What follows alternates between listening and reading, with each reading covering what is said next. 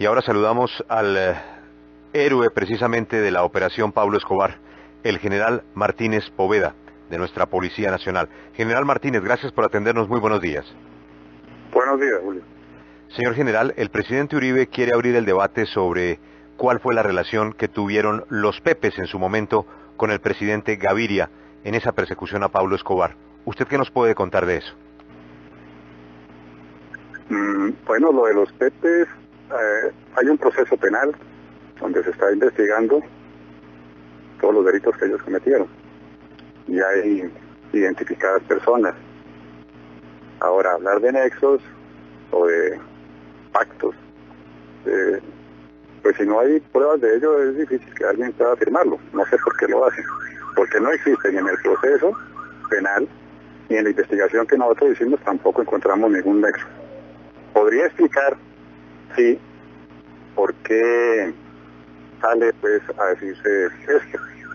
Inicialmente lo que fueron los jefes, como ustedes lo han dicho, eran miembros del cartel de Medellín, eran, hacían parte del cartel de Medellín, a los que Escobar estuvo persiguiendo, cobrándoles cuotas, secuestrándolos.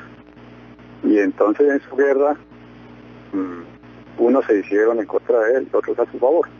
En esa guerra entre la mafia, salen varios de ellos a denunciar a Pablo Escobar por primera vez. Se presentan a la fiscalía, declaran en la fiscalía, les dieron salvoconductos, estuvieron acompañando al bloque recién jugado Escobar de la cárcel. Eh, estuvieron en varias operaciones con, dando información, señalando lugares eh, para hacer allanamientos. Es decir, eran tratados como testigos ante la fiscalía y era con fiscales y con la Procuraduría que nos acompañaban en las operaciones. Pero como no les dio resultado la operación que se hacía con la policía en los primeros cinco meses después de la fuga de Escobar, resolvieron por su cuenta organizarse a hacer eh, su guerra como ellos siempre la han hecho, poniéndose bombas y matándose. General. muy bueno que si el presidente sabe quiénes son y qué, nexo hubo, pues que lo diga y lo lleve al proceso penal. General, cuando usted que estuvo al frente de esa lucha contra Pablo Escobar, escucha que el mérito o el, el, mérito, sí, de la captura y la, de la caída final de Pablo Escobar es de los Rodríguez Orejuela y de los Pepes, ¿qué piensa? Pues es doloroso escuchar esto, ¿no?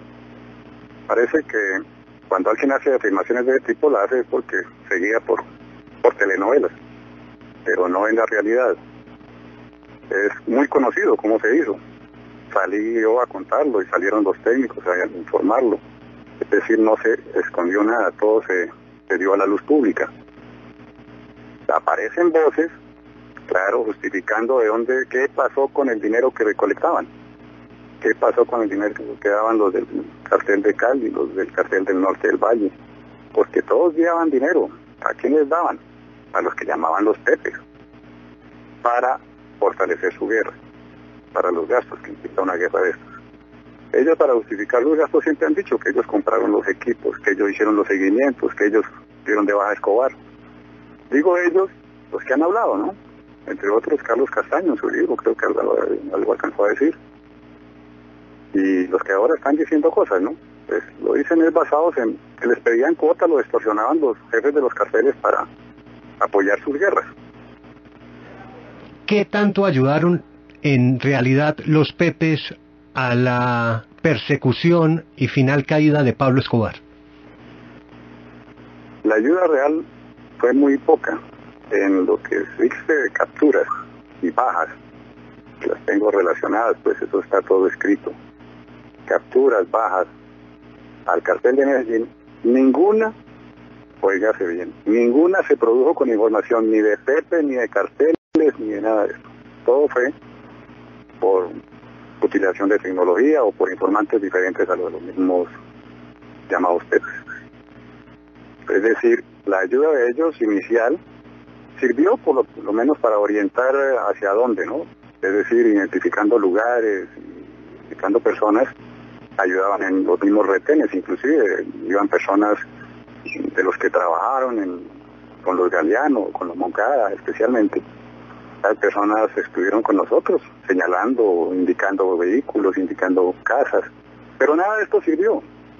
Por ello, ellos al final eh, resuelven hacer su trabajo por su cuenta y fueron todas esas cosas bestiales que hicieron de matar abogados y matar o ponerle bombas a la familia y demás. General, la famosa máquina de telecomunicaciones que logra la triangulación con la que ustedes llegan hasta la casa de Escobar. Hay la leyenda, bueno, el testimonio de Gilberto Rodríguez y de otras personas que dicen que esa máquina la aportó el cartel de Cali. ¿Qué hay de cierto en eso? Pues eso sí, ¿no? La, máquina que nosotros utilizamos, los equipos, eh, hay unos que son fijos, que hacen triangulación, son tres equipos. Son de origen francés, fueron de marca tele, eh, de marca Thomson, fueron donados por el gobierno francés a Colombia. Y los equipos móviles que se utilizaron es un Telefunken ese es del Ministerio de Comunicaciones. Después de terminada la operación con Escobar pasó al, al ejército, a la inteligencia del ejército para ser usado allá y al bloque de búsqueda de Cali. Eh, y otros equipos móviles que se utilizaron eh, fueron aportados por el gobierno de los Estados Unidos. El otro equipo utilizado de ubicación fue el, en el avión. Y no hay ningún otro equipo. Y los fijos que existían en manos nuestras eran de donados unos por el gobierno eh, de los Estados Unidos, los empleados por lo misma DEA, por el Cuerpo Especial de los Estados Unidos que también trae equipos, y los que tenía la DIGIN en ese momento. Pero de ningún otro origen conocí yo equipos. General, ¿qué piensa usted de los señalamientos que ha hecho el presidente Álvaro Uribe al gobierno de César Gaviria de haber hecho acuerdos con los Pepes para perseguir a Pablo Escobar? Por eso le digo, cuando se hacen ese tipo de afirmaciones, se están basando, es como le digo, las novelas de los forajidos, o como siempre ha, ha habido informaciones en las que uno no podía hacer afirmaciones, menos en cabeza del presidente, sin tener una base. Si la tiene, debe decirla es ante los jueces, ante el juez que tiene el caso, que lo diga. Pero de otra manera, cualquiera puede decir más bestialidades. General, el famoso decreto, el famoso decreto del presidente Gaviria, que parecería ser eh, uno de los puntos de discusión del presidente Uribe, inclusive algunos abogados lo comparan con la ley de justicia y paz. ¿Ese decreto estuvo hecho a la medida de los pepes? No, no, no creo. No, no, ¿de qué se puede pasar para poder hacer una afirmación de No lo creo. Martínez Poveda, muchas gracias por atendernos y por recordar pues este episodio que no queremos volver a recordar. Eh, mire, sería bueno repasar la historia y mirar los organigramas, los organigramas de del cartel de Medellín, ¿cómo eran? ¿Quiénes eran los que apoyaban el cartel de Medellín? Eso está escrito. Eh, había periodistas, había políticos, había mucha gente que apoyaba. Sería bueno mirarlo y ahí sí saber por qué es que se está respirando por la herida. Sí, general, me interesa muchísimo que abramos ese capítulo con usted, que fue protagonista. ¿Quiénes están respirando por la herida? ¿Quiénes eran esos aliados del cartel de Medellín? Hay que ir a, a revisar la historia y los papeles. O sea, usted usted cree que... Pero yo no lo podría hacer porque yo no puedo cometer esa irresponsabilidad de hacerlo sin una prueba fehaciente. Hay informes, ¿no? Informaciones de miembros del cartel de Medellín, cómo organizaban, cómo era su estructura orgánica, digamos, quiénes eran jefes, quiénes los apoyaban en la prensa o en la política o en el gobierno, en la policía, en el ejército, porque los apoyos venían de todas partes. ¿Y quiénes, dónde está ese organigrama donde estaban eh, los apoyos, entre otros, como se dice, de periodistas y de políticos a Pablo Escobar en ese momento. ¿Quién tiene, quién tiene esos papeles? Ya la inteligencia de la policía. El servicio de inteligencia de la policía. ¿Eso está ahí?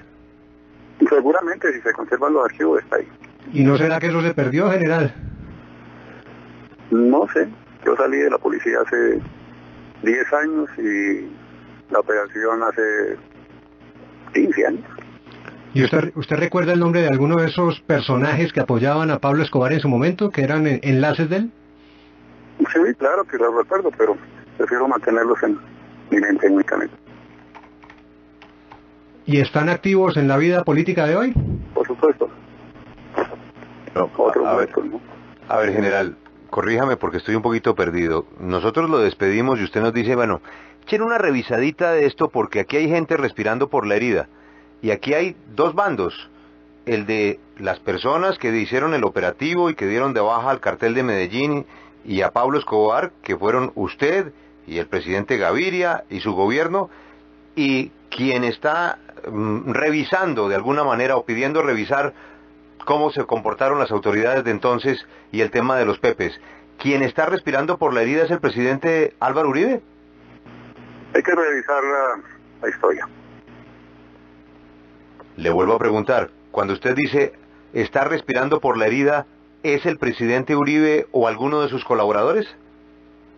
No sé, no sé, eh, hay mucha gente allí al lado de él que de alguna manera estuvieron muy activos en eso. ¿Está diciendo usted, general Martínez Poveda, que hay gente en el gobierno del presidente Uribe que está en ese organigrama por el que le pregunta Félix? Sí, señor gente que hoy está en el gobierno? Sí, claro, están en el gobierno. ¿A qué nivel del gobierno? estas son informaciones de, aportadas eh, a manera de inteligencia. Eso no está como una denuncia penal, no está como una declaración en un proceso penal, sino las informaciones que suministraron en su momento quienes hablaron, ¿no? En el momento de, de, de la guerra entre el mismo cartel, ¿no? Entonces eh, comenzaron a dar informaciones de quiénes eran los que lo apoyaban, quiénes eran los que les daban, eh, servían de intermediarios ante el mismo gobierno o intermediarios ante el Congreso para su trabajo de lograr eh, lo de la extradición o lograr lo que lograron en su momento, los decretos que se expidieron y demás. Siempre hubo vínculos, ¿no? General. Para poder llevar esos mensajes y traerlos, porque quien estaba interesado en el asunto era la persona que estaba en fuga, escondiéndose. Él no podía hacerlo en forma directa.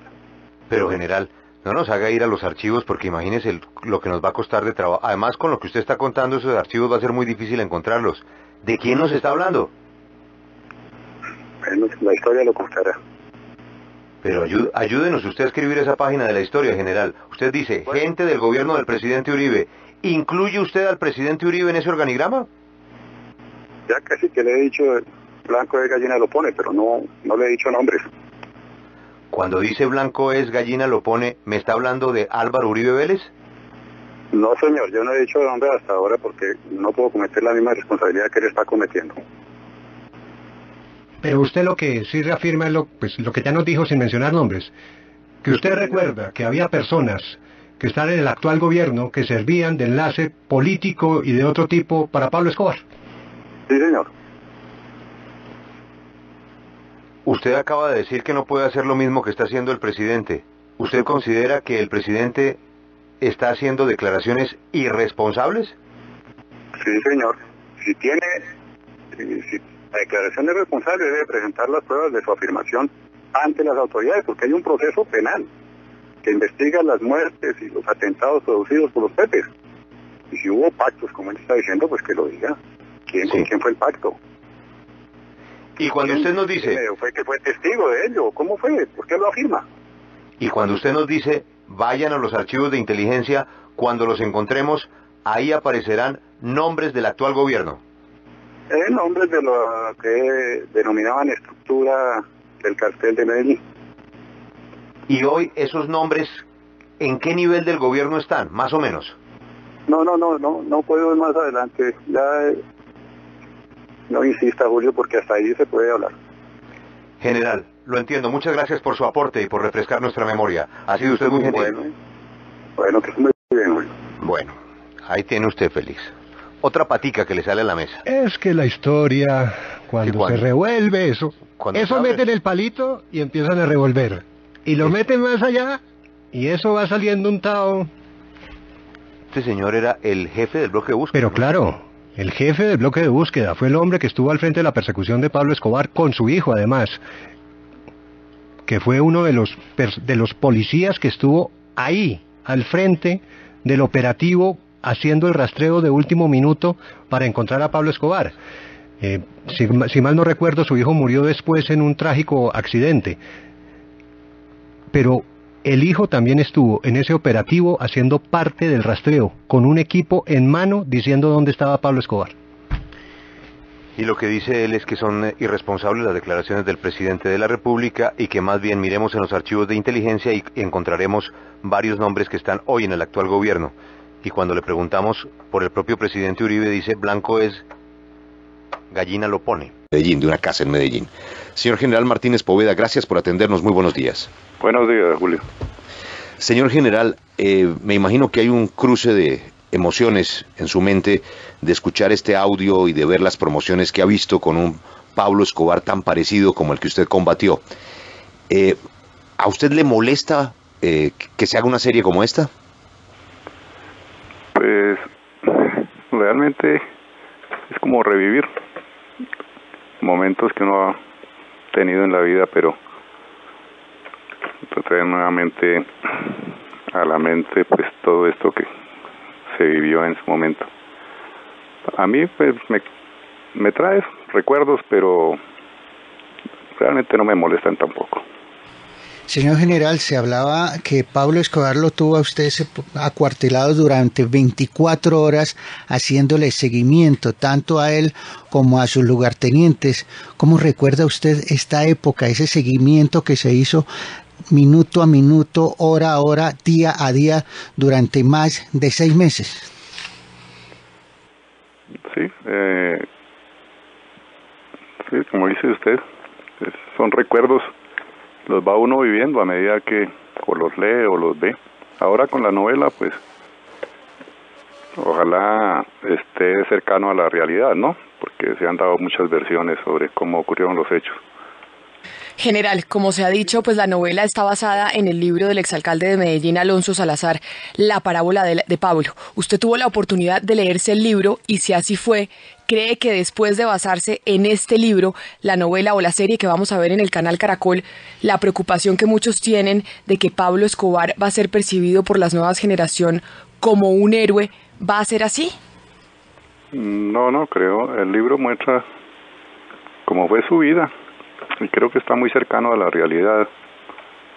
En lo que respecta al trabajo de la policía, mm, yo fui entrevistado por Alonso Salazar y eh, después de leer su contenido se acerca mucho y por lo menos fue fiel en lo que a mí respecta, a lo que yo le dije. Señor general, ¿los productores de la serie que arranca hoy hablaron con usted? Eh, no. General, usted acaba de decir que ojalá esta serie esté mucho más sintonizada con la realidad de los hechos. Y yo sé usted a qué se refiere. La propia empresa que hace hoy Escobar, el patrón del mal, hizo el cartel de los sapos, basados en el eh, testimonio de una persona que se entregó en los Estados Unidos, muy cercana al cartel del norte del valle. Esa serie arranca en su primera escena dándole todo el crédito de la baja de Pablo Escobar al cartel de Cali.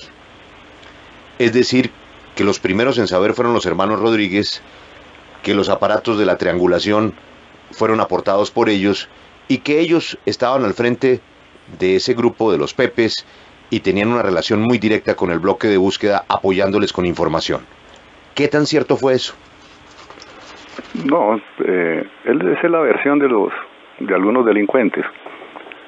Eh, he tratado de encontrar alguna explicación del por qué. Y en lo que yo conocí, a los delincuentes también los extorsionaban.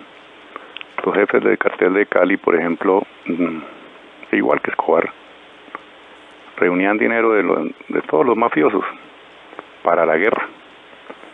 Yo supongo que ellos eh, pidieron dinero para comprar equipos y pidieron dinero para justificar todo el dinero que reunían, pues me imagino que en la mente de los delincuentes estaba eso, que ellos estaban aportando pues para la búsqueda de Escobar. Totalmente falso, porque eh, los equipos, el trabajo que nosotros hicimos, todo se puede contar eh, minuto a minuto cómo ocurrieron sin necesidad de aportes de nadie, menos de mafiosos. O sea, ese grupo llamado Los Pepes no tuvo que ver nada con eh, la búsqueda de Pablo Escobar. En la búsqueda de Escobar seguramente ellos sí estuvieron haciendo su trabajo como bandidos, pero eso no quiere decir que estuvieran con nosotros. Eh, se organizaba alguna, es decir, hubo algunos delincuentes que quisieron aportar tanto a la fiscalía como a la policía se acercaron a la fiscalía y la fiscalía nos llevó a varios de los hombres de lo que eran miembros del cartel de Cal de esto de Medellín. Y mm, a dar información casi todas las informaciones que ellos aportaban a través de la fiscalía eran informaciones históricas pero que ya no servían para nuestro trabajo. No hubo ninguna captura ninguna baja con información procedente de ninguno de los delincuentes del cartel de Medellín o del cartel de Cali. Cada captura, cada baja la puedo explicar. Cómo se presentó, su origen, a quién se le pagó, si hubo pagos, o de dónde provino la información. Señor General Hugo Martínez Poveda, director jefe del bloque de búsqueda de aquellos años terribles, gracias por atendernos y aprovecho para saludarle. Bueno, con mucho gusto, Julio.